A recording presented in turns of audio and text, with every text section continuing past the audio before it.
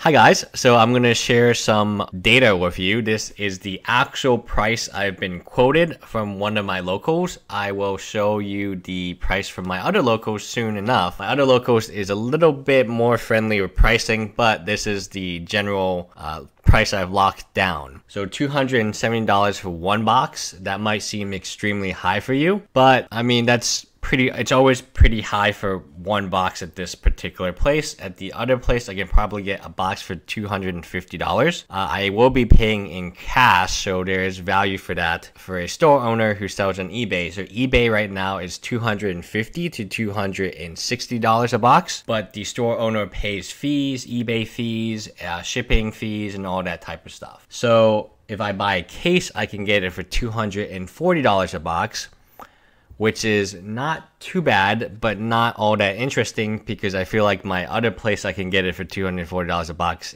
anyways, even if I just buy one box. What is interesting here, and again, if you live around Houston, contact me and we, I can get you this price, is if I buy six or more boxes, I get them for $225 a box purely cash, so I don't pay tax on my end. Uh, taxes included in the price. $225 a box is very, very good, but only if I buy six or more boxes. Now, if you live in Houston, I'm willing to split. I want kind of half a case. That's what I want to get. I have another friend who's interested. He might buy a box of two. So we need somebody to go ahead and buy two or more boxes, right? And then we can get this good price. $225 is a very good price for Modern Masters 2015 at this moment. Uh, it is such a good price, you can actually flip it on Craigslist for probably a 15 to $20 profit, no problem. Uh, the only concern I have with the price point is I don't actually like to be, I don't actually like holding it. Uh, if I buy six boxes for myself, it is a good price. I just really don't feel like I,